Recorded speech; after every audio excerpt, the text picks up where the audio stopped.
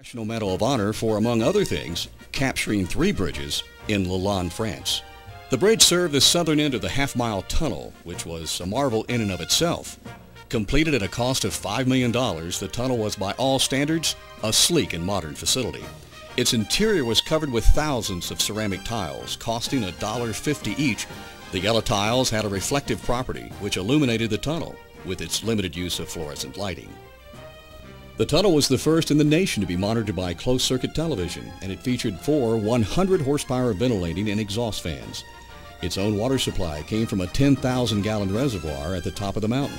It was named the Memorial Tunnel in honor of all West Virginians who had served or would serve in the military. With drivers plunging into the Memorial Tunnel 600 feet beneath the mountain's top, only to alight on the Stanley Bender Bridge, almost 300 feet above the creek, the experience gave travelers the strange sensation of flying. Operational changes were made to the turnpike which benefited local users.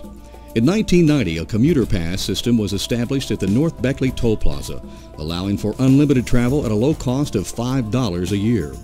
In 1994, the Parkways Authority commuter program was created to provide frequent non-commercial users a savings on tolls of up to 85% at all toll booths.